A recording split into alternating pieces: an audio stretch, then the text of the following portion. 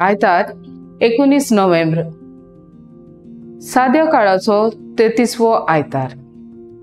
मुखेल वर्ड. जागृतायेन रावुया नियाळा कादार. आमकां जिवीत एक उमाणें. ह्या उमाण्याचो जबाब म्हणल्यार देव. आमकां कितली पिराय मेळटली आनी फुडें घडये आमकां कितें रावता हाची जानवा जानविकाय आमकां ना हो गूट फकत देवान आपणा सोशी दवरला. आमी मात ताजेर विस्वास दवरून जेवंक गरजेचें.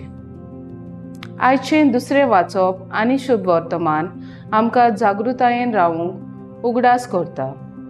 पयलें वाचप एके बायलेचे तोखणाय करता. आपल्या जिवितान आनी आपल्या वावरा वरवीं आपल्या पोतीचें जिवीत ती बरे तरेन शेगुणायता ताची वर्णन करता. शुभ वर्तमानान जेजू टॅलेंटाच्या ओपारेंतल्यान आमकां शिकोवन दिता.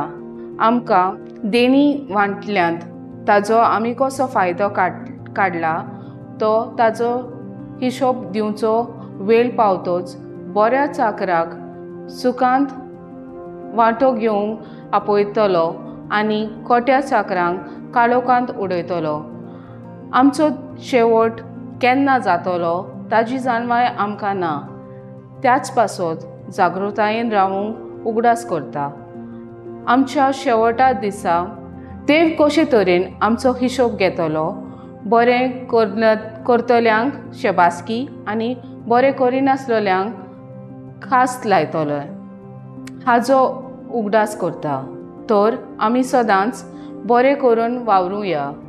बरें करण्यो आदारून आमच्या शेवटाक आयती रावुया म्हजो ताराव दीस आनी घोडी नको आसलोल्यांक दिसपोटी बरें करून जागृतायेन वावुरतलीं.